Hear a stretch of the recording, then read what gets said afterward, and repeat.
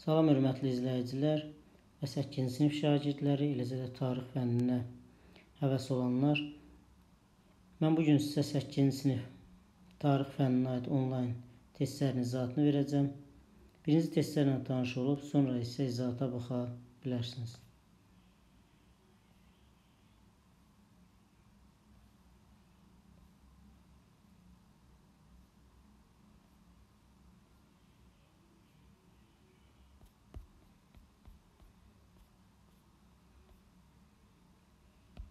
Başlayaq 76-cı test tapşırığından. 76-cı test tapşırığında bizdən soruşulur. Nabur sazişinə aid olan xüsusiyyətləri müəyyən edin. Biz baxsaq, Nabur 1727-ci ildə Rus və Osmanlı arasında bağlanmış bir sazişdir. 1 18-ci əsrin 1-ci rübündə imzalamışdır. Biz bilirik ki, 1701 və 1700 25 18-ci əsrin 1-ci rübü sayılır. Yəni 25 illiklər. Nabur sazişi isə 1727-ci il olduğundan 1-ci rüb sayılmır, 2-ci rüb sayılır. Ona görə də biz bunu 1-ci rüb kimi götürə bilmərik. Birincini biz variantdan silirik. 1 olan variantları silsək, A gedir, D gedir. Qalsaq 2. Osmanlıların Cənubi Qafqazı tərk etməsi. Biz bilirik ki, Osmanlıların Cənubi Qafqazı tərk etməsi 1733-cü il Bağdad sülhünə görədir və tamamilə tərk etməsi isə 1735-ci il 3 mərcin döyüşündən sonra baş verib. Deməli, burada 2 də aid deyil. 2-ni də çıxsaq, C variantı da variantlardan silinir. Qalır 3, 4, 5. B və ya Y variantları arasında. Rusiya ilə Osmanlı dövləti arasında imzalanmışdır. Bəli, doğrudan da Nabur sazişi Rusiya ilə Osmanlı dövləti arasında imzalanıb. Deməli, 3 oldu. Şirvanda yarımüstəqillik xanlığın yaradılması, biz bilirik ki, Şirvanda yarımüstəqillik xanlığın yaranması 1724-cü il İstanbul sazişinə əsasəndir. 4 yanlışdır. 4-ü də çıxsaq, variantımız qalır 3 və 5. Yəni sazişə əsasən Rusiyanın Cavad, Lənkəran və Qızılağacı ələ keçirməsi doğrudan da testin doğru cavabı B variantıdır. Növbəti testə keçsə 77-ci test tapşırığı Sxemə doğru tamamlayan cavabı müəyyən edin. Çar Rusiyasının işğalçılıq siyasətinə qarşı mübarizə aparmışdı. Qazax borçalını Gürcü təsirindən azad etmək siyasəti yürüdürdü. Müdür siyasəti ilə Gəncə xanlığının müstəqilliyini möhkəmləndirdi. Təbii ki, burada biz D variantı Cavad xanı götürəcəyik. Rusiya qarşı 1804-cü ilə mübarizə aparıb, Qazax və Borçalını Gürcü təsirindən azad edib, 1786-da da hakimiyyətə gəlmişdi müdür siyasəti ilə xanlığın müstəqiliyini də möhkəmləndirib. O biri variantlara baxsaq, A variantı Hacı Çələbi xan Şəki xanıdır. Götürmək olmaz. Bizdən burada Gəncə xanlığının deyir, müstəqilini möhkəmləndirdi. Hüseyn xan, xeyr bunu da götürmək olmaz. Biz bilirik ki, Hüseyn xan da Şəki xanıdır. Şahverdi xan xanlığın əsasını qoyandı. Çar Rusiyasına qarşı mübarizə aparmayıb, C-də getdi. Şahverdi xan da yer gəlmişkən Gəncə xanlığının əsasını qoysa da, amma Çar Rusiyasının işğalçılıq siyasətinə qarşı mübarizə aparmayıb, yəni deyilənlərə uyğun deyil. Mir Mehdi xan isə İrəvan xanlığının əsasını qoymuşdur. Testin cavabı D variantıdır.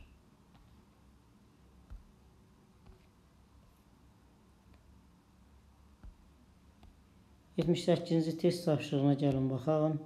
78-ci test tapşırığında bizdən Şamaxı xanlığı ilə Şəki xanlığının oxşar cəhətlərin müəyyən etmək soruşulur. Baxsaq, A variantı. Azərbaycan torpaqlarının birləşdirilməsi siyasətinin yeridilməsi. Biz bilirik ki, 4 xanlıq Azərbaycanın siyasətini, torpaqların birləşdirilməsi siyasətini yeridib. Bunlar Şəki, Qarabağ, Quba və cənubdan isə Urmiya xanlığıdır. Deməli, Şamaxı bu xanlıqların arasında olmadığına görə biz A-nı götürmürük.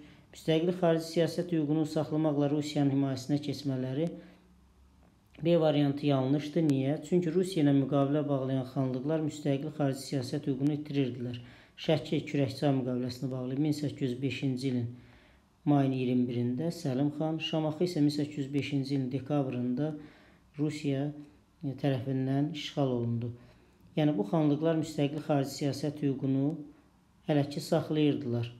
Şəki 1819-a qədər, Şamaxı isə 1820-yə qədər. Ona görə də B variantı yanlış. Müəyyən müddət iki hakimiyyətliyi mövcud olması bu Şamaxı xanlığına aiddir. İki xanlıqda iki hakimiyyətlik olub Gəncə və Şamaxı xanlığında. Şəkidə iki hakimiyyətlik olmayıb. Buna görə də C variantı yanlış. Bayat savaşında Qarabağ xanlığını məğlub etmələri, Bayat savaşı 1748-ci ildə Şəki və köməkçisi Şamaxı xanlığı ilə Qarabağ xanlığı arasında olub. Lakin burada Qarabağ xanlığı Pənahəli xan qalib gəlib. Ona görə də Qarabağ xanlığını məğlub etmələri yanlışdır. Bir dənə doğru variantımız Y variantı qalır. Fətəli xan Əfşarın hücumuna məruz qalmaları.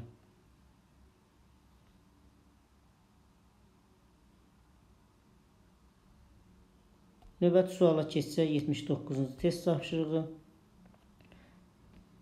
Doğru olmayan cümlənin yer aldığı cavabı cavabı müəyyən edək. A variantı Cavad xanlığı könüllü olaraq Quba xanlığının himayəsinə keçmişdir. Xeyr, yəni burada biz baxsaq, e, Quba xanı Fətəli xan Cavad xanlığını könüllü olaraq Quba xanlığının himayəsinə keçirməmişdir. B variantına baxsaq, Gəncə xanlığı Şəki xanlığına qarşı yaranmış ittifaqa qoşulmuşdur. Biz baxsaq, Gəncə xanlığı Şəki xanlığına qarşı ittifaq 1752-ci il Qızılqaya xəyanətində Kərim xan Zənd tərəfindən yaradılıb, e, deməli təşkil edilmişdir. Və burada Qarabağ, Qaradağ, Gəncə, İrəvan, Naxçıvan var idi. Doğrudan da bu ittifaqa qoşulmuşdur. B variantı doğrudur. Bizdən doğru olmayan soruşur. Şamaxı xanlığı Şirvan torpaqlarının bir hissəsini əhatə edirdi. Bu da doğrudur. Bizdən doğru olmayanı soruşur. İrəvan xanı Mir Mehdi xan Qacar tayfasının nümayəndəsi idi. İrəvan xanı Mir Mehdi xan təbii ki, Əfşarlar tayfasından idi. Amma 1755-ci ildə Həsənəli xan isə Qacar tayfasından nümayəndəsi olub. Ona görə də doğru olmayan variant biz D-ni götürə bilərik. Y variantı Naxçıvan xanlığı Xoy və Makuli həmsərədi idi, doğrudan da həmsərədi idi.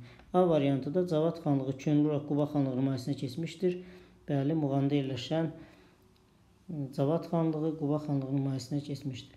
Burada biz variant kimi D variantını götürürük.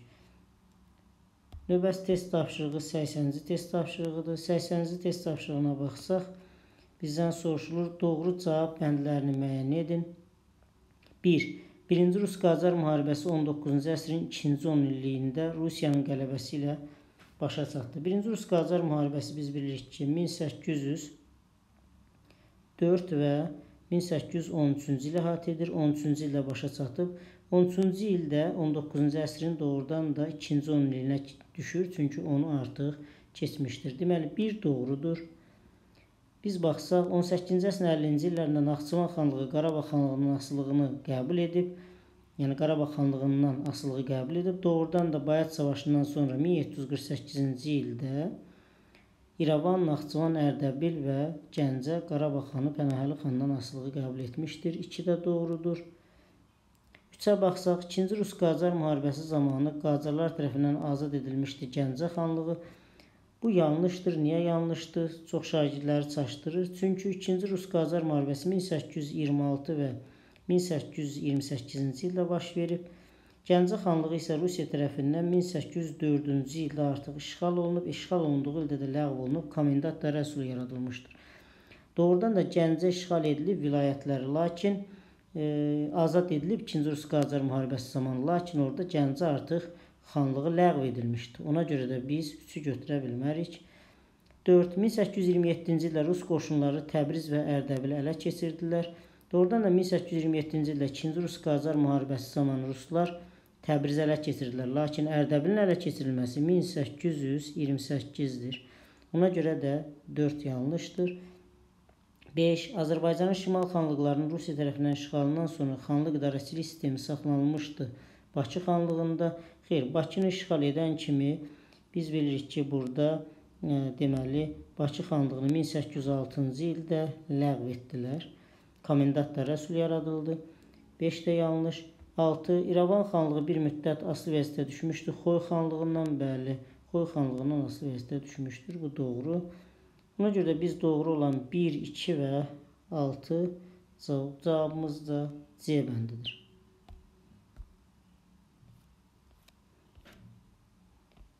Növbət test tapşırığımız 81-ci test tapşırığıdır. Qarabağ xanlığı Xoy xanlığından fərqli olaraq Burada diqqətli olmaq lazımdır ki, Qarabağ xanlığı Xoy xalqından fərqli olaraq, yəni Qarabağ xanlığına aid olsun, Xoy xanlığına aid olmasın.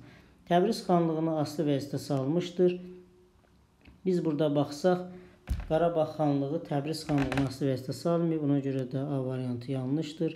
İrəvan xanlığı ilə mübarizə aparmışdır. Xeyr, Qarabağ xanlığı İrəvan daha doğrusu Qarabağ xanlığı doğrudan da bəli İrəvan xanlığı ilə mübarizə aparıb. Çünki Qarabağ xanlığı 1748-ci il Bayat savaşından sonra İrəvan xanlığını aslı vəziyyətə salıb. B-ni biz götürə bilərik. Baxsaq C variantı, daha doğrusu biz B-ni götürə bilmərik. Niyə görə? Çünki Xoy xanlığı İrəvan xanlığı ilə mübarizə aparıb. Ona görə B də yanlış.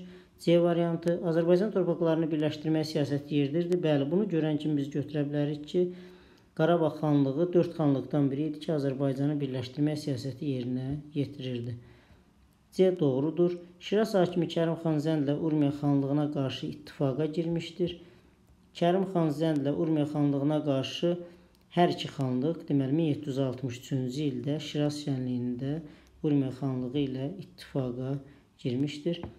Qarabağ Urmiya xanlığına qarşı Qaradağ xanlığını bir müddət hakimiyyəti altında saxlamışdır.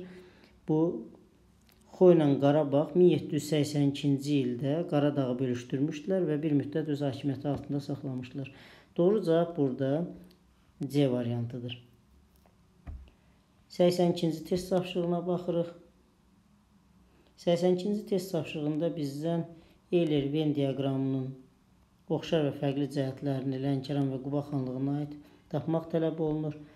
Baxsaq, Lənkəran 1, Quba 2, ortaq 3.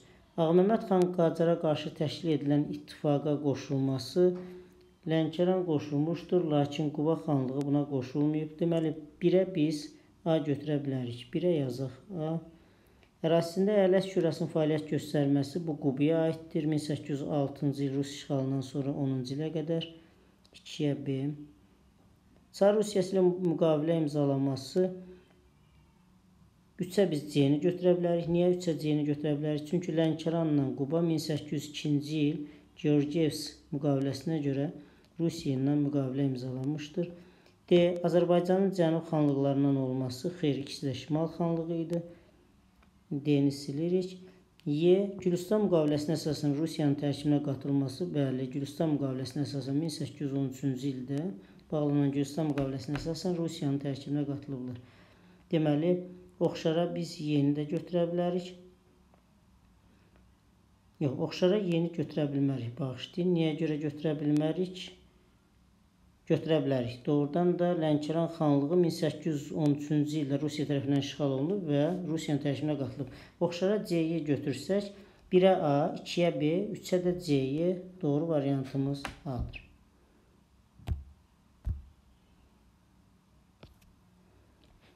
Növbəti test tapşırığımız 83-cü test tapşırığıdır. 19-cu əsrin 20-ci illərində Çar Rusiyası tərəfindən işğal edilmişdir və deyir, verilmiş ifadələrdən heç birinin aid olmadığı deməli Azərbaycan şəhərini xəritədə göstərin. Biz baxsaq 19-cu əsrin 20-ci illərində Çar Rusiyası tərəfindən işğal edilmişdir. Burada şəhərlərə baxsaq 20-ci ilində bir Ərdəbili göstərir və Ərdəbil də 1827-ci ildə Çar Rusiyası tərəfindən işğal edilib. Onda biri biz silirik, bizə deyir heç birinə aid olmasın. Səfəvilər dövlətinin müqəddəs şəhərlərindən biri sayılırdı.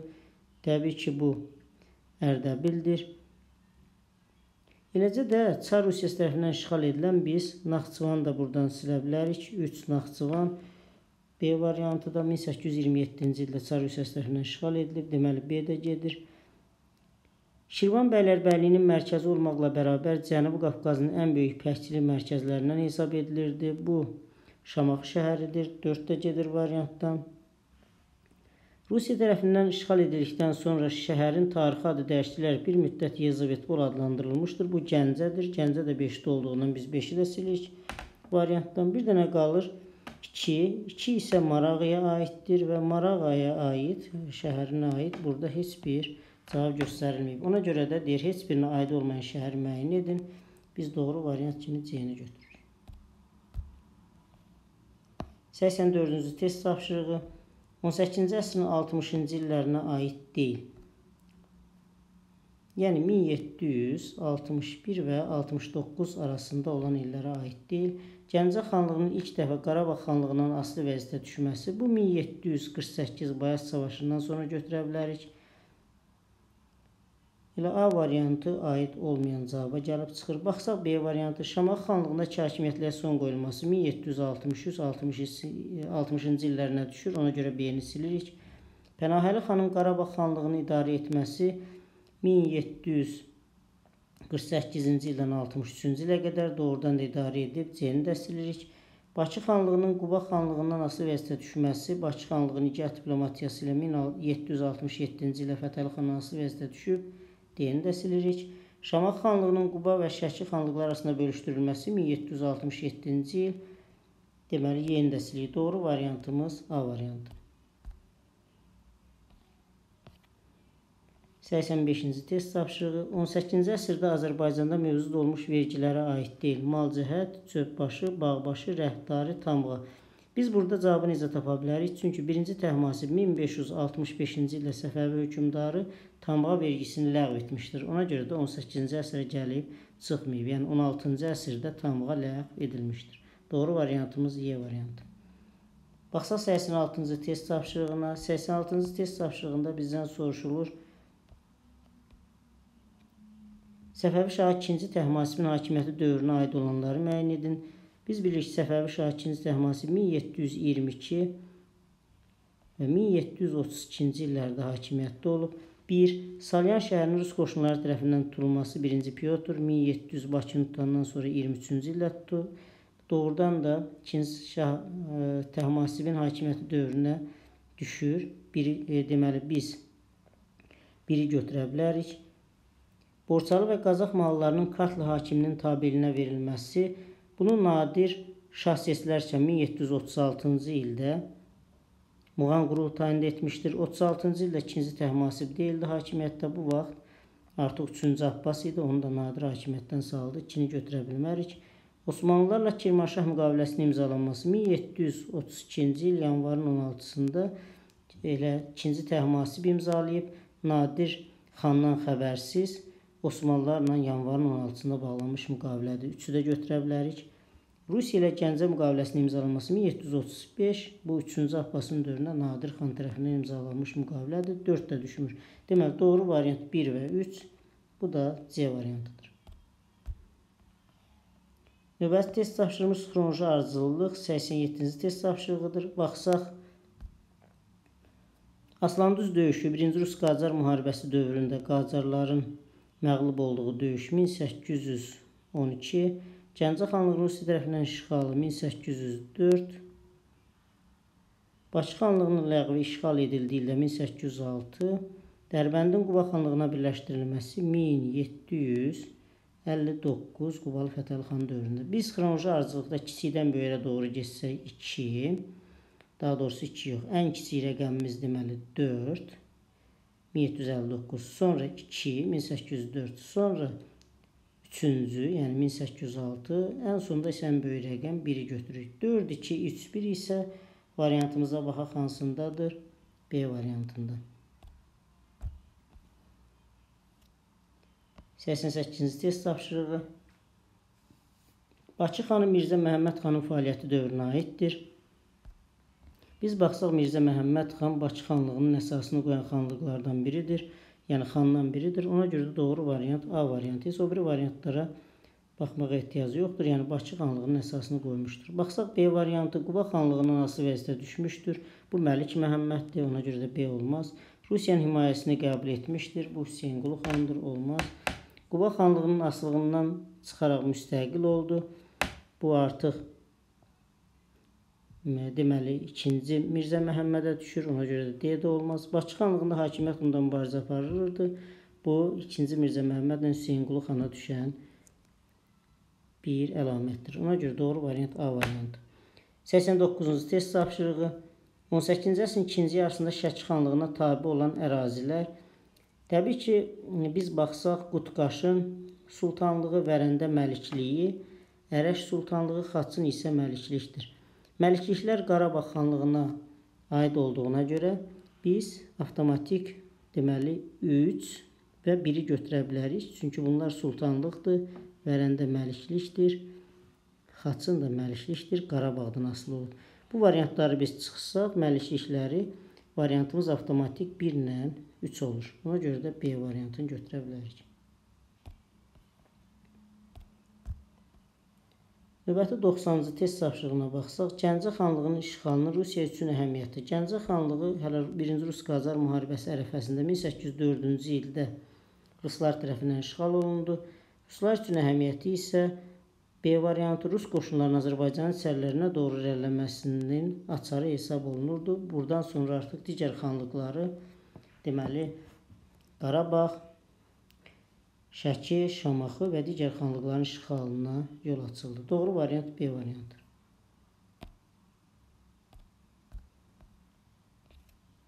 Növbəti test tapşırığı 91-ci test tapşırığıdır. Gəlin baxalım. Uyğunluğu müəyyən etmək bizdən soruşulur. Şimal xanlıqları Qarabağ, 2 Quba. A variantı, e, yəni A. Ərdəbil xanlığının aslı vəziyyətə salınması, Ərdəbil xanlığını Qarabağ, aslı vəziyyətə salıb 1748-ci ildə Bayat savaşından sonra deməli biz A-nı götürə bilərik.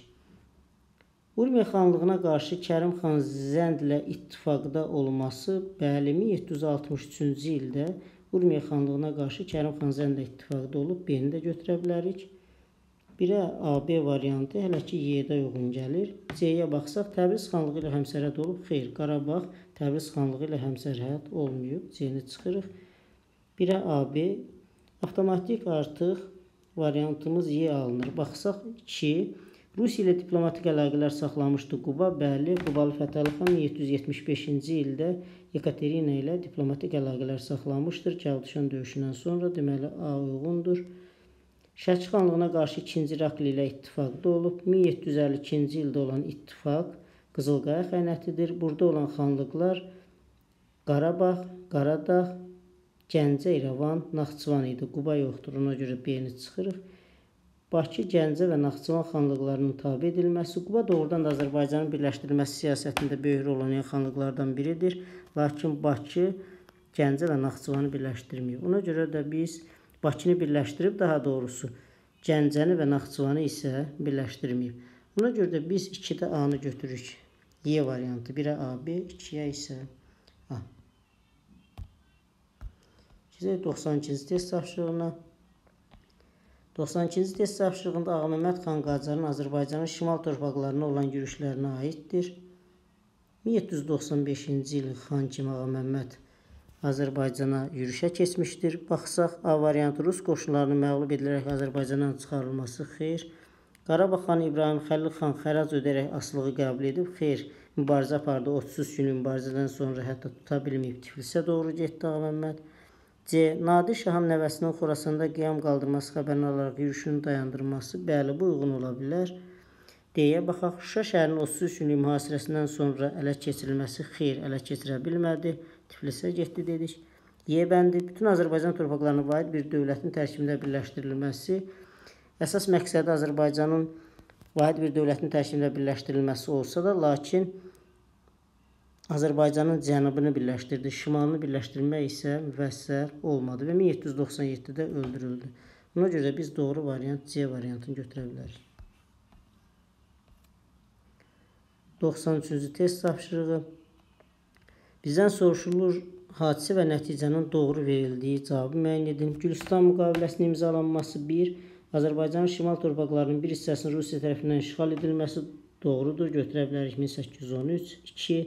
Məmməd Səid xanın yeni Şamaxını ələ keçirməsi, Şamax xanlığındakı hakimiyyətliyə son qoyulması, bunu da götürə bilərik 1763-cü ildə köhnə Şamaxı, yəni yeni Şamaxının ələ keçirilməsi köhnə Şamaxının qələbəsi ilə başa çatdı və ki, hakimiyyətliyə son qoyuldu 1763-cü ildə. 3. Müstəqil xanlıqların meydana gəlməsi, Nadir Şahifşar imperiyasının dağılması. Əslində biz bunun yerini dəyişməliyik. Yəni belə olsaydı Nadir Şahifşar imperiyasının dağılması müstəqil xanlıqların meydana gəlməsi onda doğru götürə bilərdik. Yəni hadisə və nəticə olaraq. Amma belə olduqda isə götürmək olmaz. 4. Pyotrun Xəzəryanı bölgələrə yürüşü Xəzər dənizinin Rusiyanın daxili dənizinə çevrilməsi xeyr. Pyotrun Xəzəranı bölgələrə yürüşü Xəzər dənizinin Rusiyanın daxili dənizdə seyrilməsi doğru deyil. Çünki Pyotr Xəzər dənizinin Rusiyanın daxili dənizinə çevirmək istəyirdi, lakin məqsədinə nail ola bilmədi və 1725-ci ildə öldürüldü. Daha doğrusu 1725-ci ildə öldü Pyotr və Nadir də Rusların ümumiyyətlə Azərbaycan torpaqlarından 1735-ci ildə Gəncə müqaviləsinə görə qovdu. Deməli, biz doğru variant kimi 1 və 2-ni götürürük. Doğru variantımız D variantı. Və test tapşırığına baxsaq, 94-cü test tapşırığı 17-ci əsrin birinci yarısı, 18-ci əsrin birinci yarısı, 19-cu əsrin birinci yarısı. Gəlin bunları biz illərin bir qabağına yazaq. 17-ci əsrin birinci yarısı desə 1600 1 və 1650-ni götürək.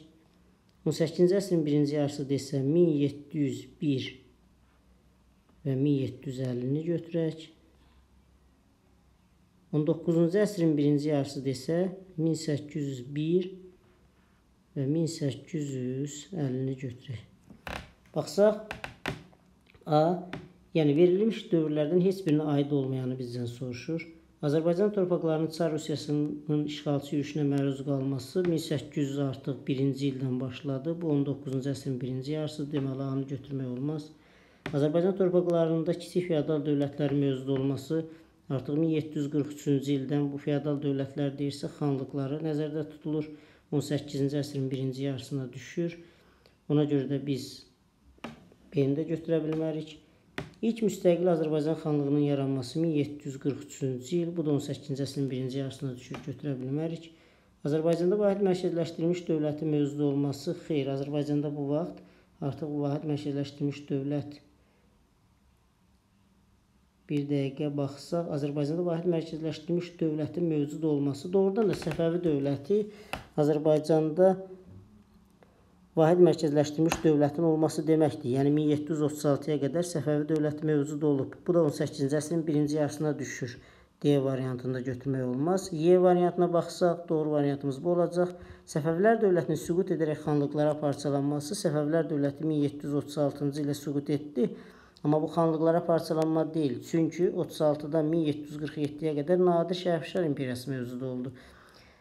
Biz desək, bəs nə vaxt xanlıqlar Azərbaycan parçalanıb? Nadir Şərifşar imperiyasının süqutundan sonra. Deməli, bunun yerində Nadir Şərifşar imperiyasının süqutu olsa, biz onda doğru götürə bilərik ki, xanlıqlara parçalanıb. Amma Səfəvilər dövlətinin süqut et etməsi xanlıqlara parçalanma deyil. Nadir Şərifşar imperiyasının süqutu desə, bəli, xanlıqlara parçalanma götürə bilərik. Doğru variantımız Y variantı. 95 Aşağıdakı ifadələrin məna ardıcılığını doğru verildiyi cavabı müəyyən edin. Bu artıq 8-ci siniflərdə ümumi tarixin biliklərinin yoxlanılması testidir. Manufaktura, biz baxsaq, manufaktura gəlir. İlk kapitalist müəssisəsi idi, yəni 3.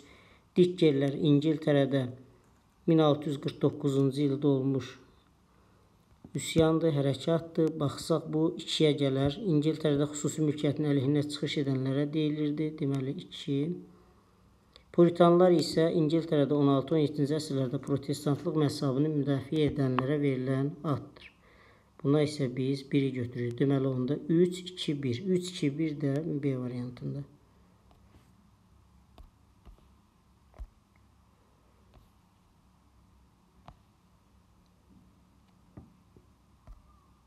Doxsan altıncı test tapşırığına baxalım. Müvafiq olaraq Səfəvi, Osmanlı və Qacarların qalib gəldiyi döyüşlər sırasını müəyyən edin. Baxsaq, Sufiyan bu 1605-ci ildə deməli Şah Abbasın, 1-ci Şah Abbasın Turan taktikası ilə Osmanlılara qalib gəldiyi döyüşdür. Doğrudan da A doğrudur. 1605 Çıldır 1578-ci ildə olan döyüşdür. Çıldır döyüşü Səfəvi Osmanlı arasında döyüşdür və bu döyüşdə Osmanlı qalib gəlib, bu da uyğundur. Qacarlar dövlətinin qalib gəldiyi Sultanbud 1812-ci ildə bəli, doğrudan da Qacarlar Rus qoşunlarına Rus-İran müharibəsində qalib gəlib Sultanbud döyüşündə. Doğru variant A-nı götürə bilərik. Görə niyə B deyil? Molla Həsən döyüşü 1578-ci il. Burada Səfəvilər qalib gəlib. Hələ ki Molla Həsən uyğundur. Niyazabad 1500 deməli 85-ci il, 83-cü ildə baş vermiş deməli döyüşdür. Niyazabad döyüşündə isə biz bilirik ki, Niyazabad döyüşü deməli Səfəvilərin qələbəsi ilə başa çatmış döyüşdür. Ona görə də biz Niyazabada görə deməli bizdən Osmanlıların qalib gəldiyi ortada deyir. Ona görə də B-ni götürə bilmərik. Aslandüz döyüşü isə yenə də rusların qalib gəldiyi idi. Qacarların məğlub olduğu döyüş. Ona görə B variantı yanlış. Çıldır 1578-ci ildə olub. Burada Osmanlı qalib gəlib. Elə bu variant çıxır. Çünki bizdən Səfəvin qalib gəldiyi birinci də döyüşü deyir sol tərəfdə. Ortada isə Osmanlının qalib gəldiyi olmalıdır. Sınıq körpü 1618-ci ildə olub. Burada isə Səfəvi qalib gəlib. Bizdən ortada Osmanlının qalib gəldiyini istəyirdi. Ona görə də olmaz. Qarababa doğrudan Qacarlar qalib gəlib, amma bu C e, çıldırla sınıq körpü uyğun gəlmədi.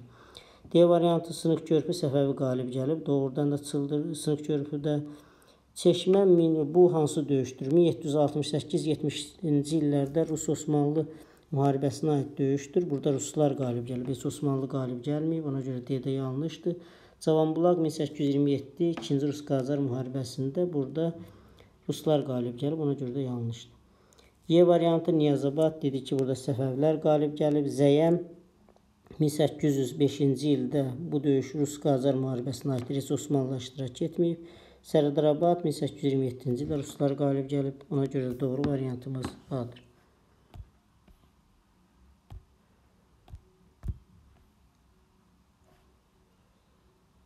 Keçək 97-ci test tapşırığına. 97-ci test tapşırığına baxsaq, xronoloji ardıcılığı bizdən tələb olunur. Ümumi tarixə aid test tapşırığıdır. İngiltərədə hüquqlar haqqında bil 1000 689-cu il, Osmanlı-Rus dövləti arasında Bağçasaray 1681-ci il, Rusiyanın Osmanlı əleyhinə qurulan müqəddəs birliyə daxil olması 1686, müqəddəs birlik 84-cü ildə yaranmışdır. Rusiya isə 86-da qoşulur. Kiçikdən böyüyə doğru götürsək biz 2 3 1 götürərik. 2 kiçikdən böyüyə doğru 3 və 1. Doğru variantımız 2 3 1. 98-ci test tapşırığı. Doğru olan bəndləri müəyyən edin. 18-ci əsrin sonlarında Osmanlı Sultanı 3-cü Səlim Nizam Cədd adlanan islahatlarını həyata keçirməyə başladı. Bəli, 1792-ci ildə Nizam Cədd islahatlarını həyata keçirməyə başladı. 18-ci əsrin sonudur. Bir doğrudur. 17-ci əsrdə Osmanlı İmperiyası Ukrayna uğrunda Rusiya ilə apardığı müharibədə Bağçasaray sülhü ilə başa çatdırdı. Bəli, 1681-ci ildə başa çatdırıb. Bu da doğrudur. Osmanlı hakim dairələrində itirilmiş əraziləri geri qaytarılmasına inam yaratdı 1711-ci il. Prut yürüşündə Rusiya üzərində əldə edən qələbə, bəli, bu da uyğun ola bilər. 4. Seçmə döyüşü baş vermişdir 18-ci əsrin 60-cı illəri. Xeyr, Rus-Osmanlı müharibəsində 1770-ci illərdə baş vermiş döyüşdür. Ruslar qələbə çalıb 4-ü götürmək olmaz. 17-ci əsrin sonuncu 10 illiyində Osmanlılar Macaristan krallığının əhəmiyyətli hissəsini və Dunay knyazlığını ələ keçirdilər. Biz bilirik ki, 1699-da Osmanlılar Karlovitsa müqaviləsini imzalamışdılar və ən ağır sülh şərtlərlə bağlanmış müqavilədir və Macaristan krallığını və Dunay knyazlığını itirdilər. 5 də doğru deyil. Deməli, doğru variantımız 1, 2 və 3. Növbəti test tapşırığı 17-ci əsr İngiltərə tarixinə aid deyil. Burada e, abituriyentlər və şagirdlər diqqət yetirməlidir. Aid deyil məsələsinə özü 17-ci əsr İngiltərə tarixi. Baxsaq 2-ci yüzillik müharibənin başlanması 1700 biz 56-cı il götürə bilərik.